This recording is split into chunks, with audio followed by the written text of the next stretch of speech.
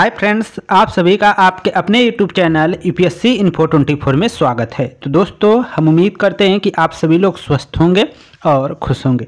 Friends ये जो video है पीजीटी हिस्ट्री का प्रैक्टिस सेट 115 है। तो अगर आप TGT PGT LT grade GIC और असिस्टेंट प्रोफेसर की तैयारी कर रहे हैं हिस्ट्री सब्जेक्ट से तो ये वीडियो आपके लिए है। वीडियो के अंत तक बने रहिए। वीडियो पसंद आए तो वीडियो को ज़रूर लाइक करें और चैनल पर दोस्त नए हैं तो चैनल को ज़रूर सब्सक्राइब कर लीजिए। तो स्टार्ट करते हैं पहला नंबर क्वेश्चन जो एक सौ इकहत्तर नंबर से शुरू हो रहा है। क्वेश्चन आपका है, ऋग्वेद के किस मंडल में शूद्र का उल्लेख किया गया है? ऋग्वेद के किस मंडल में शूद्र का क्या है, उल्लेख किया गया है? तो इसका आंसर क्या होगा? ऑप्शन ए है दूसरे तीसरे में बी ए चौथे मंडल में सी ए तीसरे और चौथे मंडल में डी का रहा है दसवें मंडल में तो आंसर आपका जाएगा डी के साथ दसवें मंडल में। तो ऋग्वेद का, जो ऋग्वेद में क्षुद्र शब्द का उल्लेख किया गया है, वो दसवें मंडल के पुरुष सूक्त में किया गया है। ऋग्वेद के दसवें मंडल के पुरुष सूक्त में जो है, क्षुद्र अर्थात जो चार वर्ण हैं, उनके बारे में, चारों वर्णों के बारे में दसवें मंडल के पुरुष सूक्त में वर्णन किया गया है, जिसमें एक शूद्र का भी है, जिसमें ब्राह्मण, क्षत्रिय, वैश्य और क्षुद्र है, ऐसा उल्लेख किया गया है। आगे चलते हैं। अगला क्वेश्चन देखते हैं। एक सौ बहत्तर नंबर क्वेश्चन है आपका और पीजीटी 2002 में 2000 में पूछा गया क्वेश्चन है। राजा की उत्पत्ति के विषय में सर्वप्रथम उल्लेख किस ग्रंथ में मिलता है? राजा की या राज्य कह सकते हैं? तो राजा की उत्पत्ति के विषय में सर्वप्रथम उल्लेख किस ग्रंथ में मिलता है? ऑप्शन ए, कौटिल्य के अर्थशास्त्र सतपथ ब्राह्मण, रामायण, एतरे ब्राह्मण तो इसमें से आंसर जो जाएगा वो डी के साथ जाएगा। एतरे ब्राह्मण, जो राजा की उत्पत्ति का जो सिद्धांत है, वो एतरे ब्राह्मण में सर्वप्रथम उल्लेख मिलता है। ऑप्शन डी आपका सही है, एतरे ब्राह्मण। इसको याद रखिएगा। व्याख्या देख लेते हैं थोड़ा सा। एतरे ब्राह्मण में सर्वप्रथम राजा की उत्पत्ति का सिद्धांत मिलता है। अधिकारों में वृद्धि के फलस्वरूप अलग अलग दिशा में राजा के नाम अलग अलग होने लगे। मध्य देश के, जो मध्य देश का राजा था, उसे राजा ही कहा जाता था। मध्य देश में वह राजा, जैसे कोई भी राजा था तो मध्य देश में वह राजा बोला जाता था। पूर्व में जो राजा होता था, उसको सम्राट बोला जाता था। पूर्व देश में सम्राट बोला जाता था। पश्चिम में स्वराष्ट्र बोला जाता था। पश्चिम में वही जो राजा है मतलब मुखिया जो है, उसको क्या बोला जाता था? स्वराष्ट्र बोला जाता था। राट ये याद देखिएगा, स्व राट बोला जाता था, उत्तर में विराट बोला जाता था, उत्तर में विराट तथा दक्षिण में भोज कहा जाने लगा। तो राजा का अलग अलग नाम मिला, जिसमें मध्य देश में क्या है, राजा का नाम राजा मिला, पूर्व में उसी राजा का नाम सम्राट मिला, पश्चिम में स्वराष्ट्र मिला और उत्तर में विराट मिला तो दक्षिण में राजा को भोज कहा जाने लगा। वह राजा जो चारों दिशाओं को विजित कर लेता था, उसे एक राट कहा जाता था। वह राजा, जो अपने चारों दिशाओं में एक विजय कर लेता था तो उसे एक राट बोला जाता था। एक राट जो अपने चारों दिशाओं में विजय प्राप्त कर लेता था। आगे देखते हैं, कुछ अन्य महत्वपूर्ण तथ्य हैं, उनको देखते हैं। राजसु यज्ञ का विस्तृत वर्णन सतपथ ब्राह्मण में मिलता है। जो राजसु यज्ञ है, उसका अगर विस्तृत वर्णन की बात किया जाए तो वो किसमें मिलता है दोस्तों? तो सतपथ ब्राह्मण में मिलता है। राजसु यज्ञ का विस्तृत वर्णन किसमें मिलता है? सतपथ ब्राह्मण में मिलता है।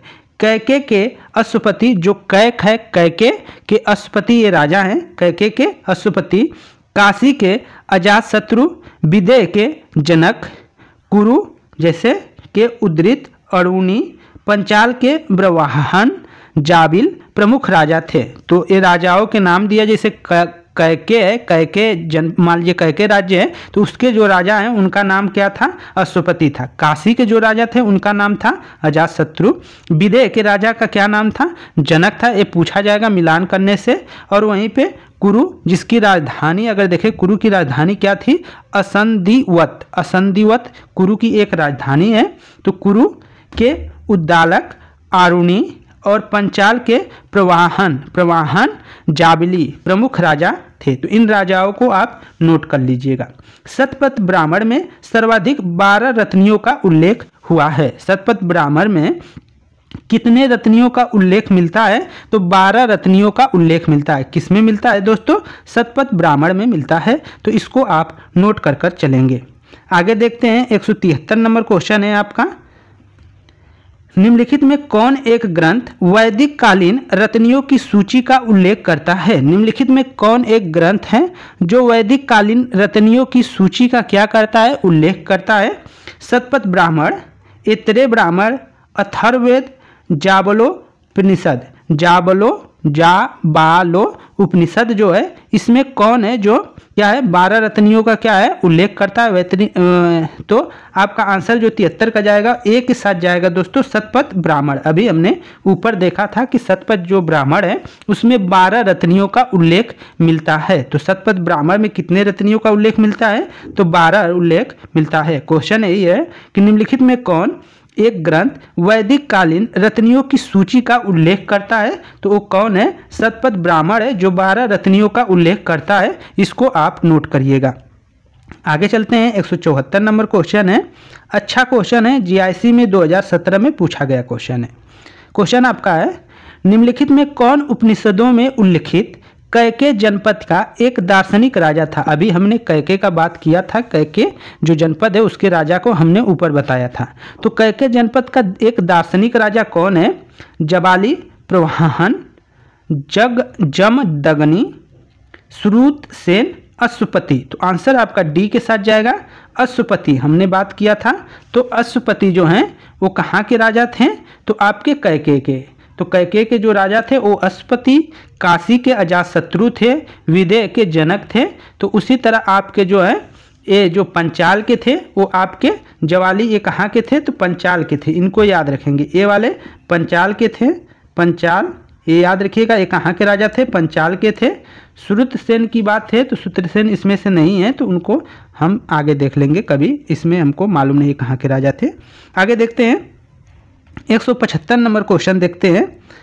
उत्तर वैदिक काल में रतनियों की संख्या कितनी थी? उत्तर वैदिक काल में रतनियों, यहाँ पे रतनियों रहना चाहिए। रतलीन है, यहाँ पे ये यह देखना है, रतनियों की संख्या कितनी थी? तो बारह थी। बारह राजाओं को लेकर, जैसे रत्नियों की संख्या कितनी थी? तो बारह। तो ऑप्शन आपका सी सही हो जाएगा। बारह राजाओं को लेकर। तो उत्तर वैदिक काल में रत्नियों की संख्या कितनी थी? तो बारह राजाओं को लेकर था तो ऑप्शन आपका सी सही होता है। आगे चलते हैं। उत्तर वैदिक काल की प्रमुख फ़सल क्या थी? उत्तर वैदिक काल की प्रमुख फ़सल क्या थी? ये बताना है। जय गेहूँ और चावल। जौ और गेहूँ, मक्का और अरहर उपयुक्त में से कोई नहीं। तो एक सौ छिहत्तर का आंसर क्या हो जाएगा? गेहूँ और चावल। तो उत्तर वैदिक काल की जो सबसे प्रमुख फ़सल थी वो गेहूँ और चावल है। गेहूँ, चावल आज भी है और पहले भी था। गेहूँ और चावल। तो उत्तर वैदिक काल की प्रमुख फ़सल क्या थी? गेहूँ और चावल। इसको याद रखना है। व्याख्या देखिए थोड़ा सा कृषि और पशुपालन उत्तर वैदिक काल के आर्थिक जीवन की मुख्य आधार थे। उत्तर वैदिक काल की प्रमुख फ़सल चावल और गेहूँ थी। उत्तर वैदिक काल की जो मुख्य फ़सल वो क्या है? चावल और गेहूँ थी। अन्य महत्वपूर्ण तथ्य देख लेते हैं। वाज स्नेही जो है संहिता में विभिन्न अन्नों को बोने और पकने का समय दिया गया है। तो अन, अन्न जो होते हैं अनाज उनके बोने और पकने का समय समय किसमें दिया गया है? तो वाज स्नेही में दिया गया है। वाज स्नेही संहिता जो है उसमें विभिन्न प्रकार के जो अन्न हैं उनके बोने और पकने का समय दिया गया है। तो किसमें दिया गया है? वाज स्नेही में दिया गया है। व्री व्री बू जो नामक व्यापारी दानशील होते थे। जो वीबू नामक व्यापारी होते थे बीबू नामक जो व्यापारी होते थे, वो क्या होते थे? दानशील होते थे। जबकि पड़ी पड़ी जो होते थे नामक व्यापारी पशुओं की क्या करते थे? चोरी करने के लिए कुख्यात थे और परिणामतः वो ज़्यादा क्या करते थे? तो गायों की चोरी करते थे। किसकी चोरी करते थे? गायों की चोरी करते थे। इसीलिए आर्य लोग इनको क्या है? पड़ी कहते थे। तो पड़ी नामक जो व्यापारी थे, वो पशु की चोरियों के लिए कुख्यात थे और वहीं पे एक व्यापारी जिसको ब्रीबू कहा गया है, वो जो व्यापारी है ब्रीबू, वो क्या है? आपके दानशील हैं तो इसको भी नोट कर लीजिएगा। ऋग्वेद में युद्ध का पर्याय गविष्टि है मतलब गविष्टि गायों का अन्वेषण, गायों का खोज, गविष्टि का आ गया है। युद्ध जैसे गाय को चुरा लेते थे जो पड़े होते थे और उसी के बाद क्या है, युद्ध होता था। तो ऋग्वेद में युद्ध का पर्याय गविष्टि है। इसमें एक सौ छिहत्तर बार गायों का उल्लेख है। तो एक सौ छिहत्तर बार ऋग्वेद में गायों के लिए उल्लेख किया गया है। तो ये याद रखना है बार। एक नंबर क्वेश्चन देखते हैं और ये वीडियो जो है दोस्तों, आज जो है आपका जो वैदिक काल चल रहा था, वैदिक सभ्यता चल रहा था, उसमें आप पूरा हो जाएगा। आज आखिरी वीडियो है वैदिक काल की, जिसमें आप डेढ़ सौ से ज़्यादा क्वेश्चन देख चुके मतलब ये चल रहा है एक सौ सतहत्तर तो दस क्वेश्चन और हमको लग रहा है चार पाँच क्वेश्चन और होगा। तो एक सौ अस्सी, एक सौ नब्बे के आसपास क्वेश्चन है। ये पूरे आपके जिसमें ऋग्वैदिक, वैदिक जो वेद है, उनको फिर आर्यों की जो है, उन उत्पत्ति से संबंधित हर चीज़। तो वो सब पूरा वीडियो अगर देखें, आठ दस वीडियो होगा हमको लग रहा है, दस दस मिनट, बीस बीस मिनट का। तो अगर आप पूरा देखते हैं तो आपका जैसे, मान लीजिए एक घंटा नहीं लगेगा तो आप पूरा मतलब कर लेंगे। तो आपका एक रूटीन बन जाएगा। वीडियो को फास्ट कर कर देखिए, थोड़ा बार बार देखिए, जिससे कि आप एक लय में रहते रहें अच्छा क्वेश्चन रहता है और जो व्याख्या उसका मिलता है, वो समझ लीजिए। वो तो रामबाड़ का काम करता है, जो इसका मतलब व्याख्या आपको है। बहुत अच्छा व्याख्या है। व्याख्या को ज़रूर सुना करिए। आपके ज्ञान में बढ़ोतरी होगी। किसी तरह का हानि नहीं है दोस्तों। इसलिए वीडियो पूरा देखा करिए। आप लोगों के लिए फ़ायदेमंद होगा। खैर, चलिए आगे चलते हैं। एक सौ सतहत्तर नंबर क्वेश्चन उत्तर वैदिक काल में विचरण कर शिक्षा देने वाले गुरु कहलाते थे। विचरण कर मतलब एक स्थान से दूसरे स्थान तक घूमकर शिक्षा देने वाले गुरु क्या कहलाते थे, ये बताना है। होता, चरक, चरण, सुत। तो 177 का जो आंसर है दोस्तों, वो बी सही हो जाएगा। 177 का बी सही कर लेंगे, चरक होते थे। तो उत्तर वैदिक काल में विचरण कर शिक्षा देने वाले गुरु क्या कहलाते थे, चरक कहलाते थे। चरक याद रखिएगा, चरक ऑप्शन बी आपका सही है। और ये एमपी में पूछा गया क्वेश्चन था एमपी असिस्टेंट प्रोफेसर में। उत्तर वैदिक काल में विचरण कर शिक्षा देने वाले गुरु चरक कहलाते थे। इस काल में गुरुकुल शिक्षा प्रणाली थी। अन्य महत्वपूर्ण तथ्यों को देखते हैं तो ऋग्वेद में मंत्रों का जो उच्चारण करके जो पुरोहित यज्ञ संपन्न कराता था, उसको होता कहा जाता था। और साम जो साम वेद है, उसके मंत्रों का ज्ञान करने वाला जो था, उदगाता कहलाता था, ऋग्वेद का होता कहलाता था सामवेद का उदगाता कहलाता था, जो मतलब मंत्रों का उच्चारण करता था। तो क्वेश्चन आपका बन जाएगा कि जो सामवेद के मंत्रों का गायन करने वाला होता है, या जो मंत्रों का वाचन करता है, उसको क्या कहते हैं? तो उदा, उग, दाता। उगदाता या उदाता कहते हैं, उदाता भी रहेगा तो इसको याद रखिएगा। अन्य देखते अगला क्वेश्चन।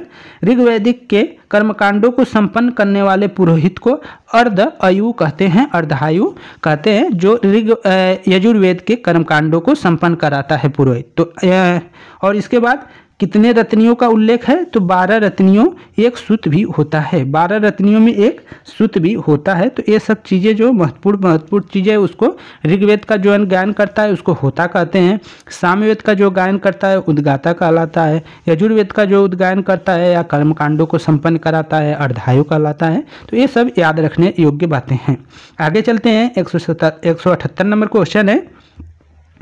निम्नलिखित में कौन पूर्व वैदिक युग का प्रमुख खाद्यान्न था? पूर्व वैदिक युग का प्रमुख खाद्यान्न कौन था? गेहूँ था, जौ था, चावल था, चना था। तो आंसर क्या हो जाएगा? बी सही हो जाएगा दोस्तों, जय हो जाएगा। पूर्व मतलब पूर्व वैदिक युग का प्रमुख खाद्यान्न कौन था? तो जय था, जौ को याद रखिएगा, जौ जो है, वही था। तो ऑप्शन बी आपका सही है। व्याख्या देख लीजिए। जौ जो पूर्व वैदिक युग का प्रमुख खाद्यान्न था। ऋग्वेद में एक ही अनाज, यो अर्थात अथवा जौ का उल्लेख है। ऋग्वेद में एक ही अनाज, जैसे यो या जौ का क्या है उल्लेख है? अन्य महत्वपूर्ण तथ्य देखते हैं। ऋग्वेद के दसवें मंडल में खेती की प्रक्रिया का वर्णन मिलता है। ऋग्वेद के दसवें मंडल में एक चीज़, अन्य चीज़ मिल गई।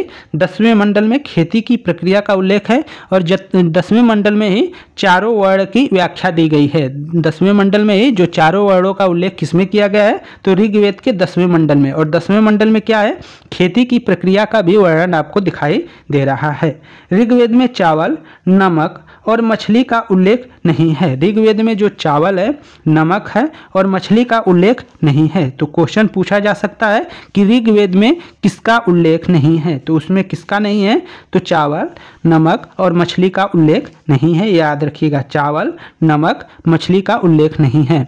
आप जैसे इसको कैसे याद कर सकते हैं कि बिहार वो जो आपका बिहार ले लें या आपका बंगाल ले लें, खासकर बंगाल तो वहाँ पे चावल और मछली बहुत चाहते हैं, लोग खाते हैं, शायद वहाँ के बहुत ज़्यादा पसंद करते हैं। और वहाँ के चावल और मछली तो मछली में नमक भी पड़ता है। तो इस तरह चावल मछली और नमक, ये सब ऋग्वेद में नहीं उल्लेख है। ऋग्वेद में इनका उल्लेख नहीं है, लेकिन ये पश्चिम बंगाल में खूब चलता है। आगे देखते हैं, दूध में यो डालकर छिड़, पकोदना तथा जौ के सत्तू में दही डालकर करम्ब नामक भोज पदार्थ क्या है? तैयार किया जाता था। जो आपके दूध है, दूध में जव यौ, जो, यौ जव को ही यौ बोलते हैं, या यौ बोलिए या जव बोलिए, दोनों एक ही बात है।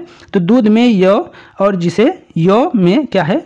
दूध में यौ डालकर छीड़ जो होता है, खीर जो कहते हैं छीर पकौदन पकौदन छीड़ पकौदन। और जौ में जैसे सत्ती, सत्तू होता है तो सत्तू में दही डालकर जो बनाया जाता था, उसको करम्ब नामक भोज पदार्थ क्या है, तैयार किए जाते थे। दूध डाल दिया जाएगा जौ में तो उसको क्षीर पकौदन हो जाएगा। और अगर जौ में सत्तू और दही मिला दिया जाएगा तो वो करम नामक पदार्थ बन जाएगा, जो खाने में आनंद आएगा। आगे चलते हैं। 179 नंबर क्वेश्चन है। यूपीजीआईसी प्रवक्ता परीक्षा में पूछा गया क्वेश्चन है। ऋग वैदिक आर्य किस अनाज से परिचित थे? ऋग वैदिक आर्य किस अनाज से परिचित थे? एक एक दे दिया है, जौ दिया है तो ऑप्शन आपका ये सही हो जाएगा, जौ से ही परिचित हो जाएँगे, क्योंकि जौ उनका पहले का था तो जौ सबसे ज़्यादा उल्लेख भी है जौ का तो ऑप्शन आपका ए सही हो जाएगा, ऋग्वैदिक आर्य किस अनाज से परिचित थे? तो जौ से परिचित थे। 180 नंबर क्वेश्चन है और इसका आंसर आप लोग दे सकते हैं। भारत में दशमलव प्रणाली के विज्ञान का प्रारंभ किया था। भारत में दशमलव प्रणाली के विज्ञान का प्रारंभ किसने किया था? ये बताना है भरत ने, जयदेव ने, पिंगल ने या आर्यभट्ट। तो जो उत्तर सही होने का अनुमान है, वो डी सही हो जाएगा, आर्यभट्ट हो जाएगा। और ए जी परीक्षा में पूछा गया क्वेश्चन है तो ऑप्शन आपका डी कर लेंगे, आर्यभट्ट को ही आंसर करेंगे। सबसे नज़दीकी आंसर यही होगा। व्याख्या देखिए। दशमलव प्रणाली के विज्ञान का प्रारंभ भारत में हुआ है। यहाँ पे भारत में पूछता तो आंसर आप कर लेते तुरंत कि दशमलव प्रणाली का जो मतलब उत्पत्ति कहाँ हुई है, प्रारंभ कहाँ हुआ है तो भारत कर लेते हैं। ये आसान क्वेश्चन हो जाता, लेकिन उसके जन्मदाता को पूछ दिया है तो आर्यभट्ट करेंगे। अच्छा रहेगा। आगे देखते हैं। दशमलव प्रणाली भारत से अरब और वहाँ से पश्चिमी देशों तक पहुँची। गुप्त काल में भारत में शून्य का आविष्कार तथा दशमलव प्रणाली का विकास हुआ। तो शून्य और दशमलव प्रणाली का विकास जो हुआ है, किस काल में हुआ है? तो गुप्त काल में हुआ है। तो भारत में गुप्त काल में शून्य तथा दशमलव प्रणाली का क्या हुआ है? आविष्कार हुआ है। आर्यभट्ट इस काल के प्रसिद्ध वैज्ञानिक थे। आर्यभट्ट जो थे, इस काल के प्रसिद्ध वैज्ञानिक थे, जिन्होंने आर्यभट्टी नामक ग्रंथ की रचना की है। आर्यभट्ट की पुस्तक क्या है? आर्यभट्टी इसको याद रखिएगा। तो आर्यभट्ट की एक पुस्तक है, जिसका नाम आर्यभट्टी है और उसकी रचना आर्यभट्ट ने किया है और इसी ग्रंथ में दशमलव प्रणाली अंक गणित बीज गणित या जामती के नवीनतम सिद्धांत हैं। तो जो आर्यभट्टी है, उसकी रचना आर्यभट्ट ने किया है और इसी जो एक ग्रंथ है, इसी ग्रंथ में आपको दशमलव प्रणाली और अंक गणित और बीज गणित और ज्यामिति के जो नवीनतम सिद्धांत है, वो सब इसी ग्रंथ में आर्यभट्टी में आपको मिलते हैं। आगे चलते हैं, एक सौ इक्यासी नंबर। वैदिक आर्यों का प्रमुख भोज्य क्या था? वैदिक आर्यों का प्रमुख भोज्य क्या था? भोजन क्या था? ये याद रखना है। जव और चावल, सब्ज़ी और फल, दूध और डेयरी जौ, दूध, डेयरी, उत्पादन, सब्ज़ी और फल। तो अभी हमने दूध और डेयरी की बात की थी तो ऑप्शन डी आपका सही हो जाएगा। ऋग वैदिक जो आर्य हैं, वैदिक आर्य हैं, उनका मुख्य जो फ़सल था, वो जौ, दूध उसका मिलाकर बनाते थे। डेयरी उत्पादन, सब्ज़ियाँ और फल तो ऑप्शन डी आपका सही हो जाएगा। एक सौ इक्यासी का डी कर लेंगे, आपका सही आंसर हो जाएगा। आगे चलते हैं, इसके व्याख्या को थोड़ा सा देख लेते हैं। दोस्तों, अब इसको कराने के बाद जो धार्मिक आंदोलन है, जिसमें आपको जैन धर्म, बौद्ध धर्म और जितने वैष्णव धर्म हो गए, उनके बारे में वीडियो बनाया जाएगा। तो आप लोग बने रहे आपका यह सीरीज़ अच्छा खासा चल रहा है, टीजीटी, पीजीटी, किसी भी एग्ज़ाम में आप बैठने जा रहे हैं तो अच्छा खासा कर सकते हैं। तो अब हम धार्मिक आंदोलन पर वीडियो बनाएँगे कल से, उसको भी आप ज़रूर देखिएगा। ढेर सारा प्यार दीजिए। आगे देखते हैं इसके क्वेश्चन को। व्याख्या को, सॉरी। वैदिक आर्यों का प्रमुख भोजन जौ, दूध, डेयरी उत्पादन, सब्ज़ियाँ और फल थे। आर्य, मांसाहारी तथा शाकाहारी दोनों प्रकार के क्या करते थे? भोजन करते थे। दूध में जौ डालकर क्षीर पकौदन तैयार किया जाता था। दूध में जब जौ डालकर कोई खीर तैयार करते थे, हम लोग खीर कहते हैं वो क्षीर पकौदन कह रहे थे। जौ के सत्तू को दही में डालकर करम्ब नामक भोज्य पदार्थ क्या किया जाता था? तैयार किया जाता था। ऋग्वेद में चावल का उल्लेख नहीं है। ऋग्वेद में चावल का उल्लेख नहीं है। चावल, नमक और मछली का ऋग्वेद में क्या है? उल्लेख नहीं है। हमने ऊपर बताया था। वही मांसाहार में मुख्यतः भेड़, बकरी का प्रयोग होता था। गायों को अघन्या कहा जाता था। वध न करने योग्य कहा गया है। जबकि भेड़, बकरियों का वध करते थे मांसाहारी के रूप में प्रयोग करते थे, खाते थे। आगे देखते हैं, एक सौ बयासी नंबर क्वेश्चन है और आपका उत्तराखंड असिस्टेंट प्रोफेसर में पूछा गया क्वेश्चन है। वैदिक साहित्य में किसे पुरंद्र के नाम से जाना जाता है? वैदिक साहित्य में किसे पुरंद्र के नाम से जाना जाता है? तो आप आंसर आपका ए अग्नि है बी ए वरुण सी ए मित्र और डी ए इंद्र। तो आंसर आपको इंद्र करना पड़ेगा। इंद्र को पुरंदर के नाम से जानते हैं। एक सौ बयासी का डी आपका सही हो जाएगा। पुरंदर किसको? इंद्र को कहते हैं। ये क्वेश्चन पीछे करा चुके हैं। व्याख्या देखिए। वैदिक साहित्य, अर्थात ऋग्वेद में इंद्र को पुरंदर के नाम से जाना जाता है। इंद्र को विश्व का स्वामी कहा गया है। वह मुख्यतः युद्ध का देवता था। आर्यों का विचार था कि उसने, उसी ने असुरों पर विजय दिलाई थी। ऋग्वेद में लगभग एक चौथाई सूक्त इंद्र को समर्पित है। ऋग में जो एक चौथाई सूक्त है, वो किसको समर्पित है? तो आपके इंद्र को समर्पित है, इसको याद रखना है। तो ये आपसे क्वेश्चन पूछा जाएगा। तो एक चौथाई याद रखिएगा। अगला क्वेश्चन है आपका, एक सौ तिरासी नंबर और वीडियो का आखिरी क्वेश्चन है। आगे जो वीडियो कराएँगे वो धार्मिक आंदोलन से है, जिसमें जैन धर्म, बौद्ध धर्म, आपके सूफी जो भी हैं, आपके वैष्णो धर्म, इन सबको हम कराने का प्रयास करेंगे। जितने भी दर्शन हैं, उनको आप देखेंगे। मतलब धार्मिक आंदोलन से संबंधित प्राचीन भारत में जितने चीज़ें हुई हैं, उनको आप आप देखने को मिलेगा। तो आगे का जो वीडियो बनेगा, वो धार्मिक आंदोलन पे, यहीं पे जो वीडियो होगा, ये आपका जो वैदिक सभ्यता था या वैदिक काल था, वो समाप्त होता है दोस्तों, और इस वीडियो का आखिरी क्वेश्चन। निम्नलिखित में से किस ग्रंथ में सबसे पहला विवरण स्पर्द्य पद के, पद से संबंधित सामूहिक समूह के अर्थ में मिलता है, जिसमें जन्म के आधार पर अस्थायी रूप से अछूत माने जाने वालों की निंदा की गई थी। विष्णु धर्मसूत्र में, मानव धर्मसूत्र में अपस्त धर्मसूत्र में, गौतम धर्मसूत्र में। तो एक सौ तिरासी का आंसर ये सही हो जाएगा दोस्तों, विष्णु धर्म सूत्र में। क्वेश्चन आपका है कि निम्नलिखित में से किस ग्रंथ में सबसे पहला विवरण असपद्य पद से संबंधित उस सामूहिक अर्थ में मिलता है? असपद्य। ठीक है? मतलब अस्पृश्यता से ले सकते हैं। अस्पृश्य ध्यय का यह धैर्य, अस्पृश्य धैर्य जो है, इसका संबंध अस्पृश्यता से ले सकते हैं। तो निम्नलिखित में से किस ग्रंथ में सबसे पहला विवरण धैर्य पद से संबंधित उस समूहिक, उस सामाजिक समूह के अर्थ में मिलता है, जिसने जन्म के आधार पर अस्थायी रूप से अछूत माने जाने की निंदा की गई थी? तो किसमें की गई थी? तो आपके विष्णु धर्म सूत्र में की गई थी। विष्णु धर्म याद रखिएगा। और ए एन बी एस में पूछा गया क्वेश्चन है। नवोदय में पूछा गया क्वेश्चन है। व्याख्या देखिए। विष्णु धर्म सूत्र को विष्णु स्मृति अथवा वैष्णो धर्मशास्त्र भी कहते हैं। विष्णु धर्म सूत्र को विष्णु स्मृति या वैष्णो धर्मशास्त्र भी क्या कहा जाता है?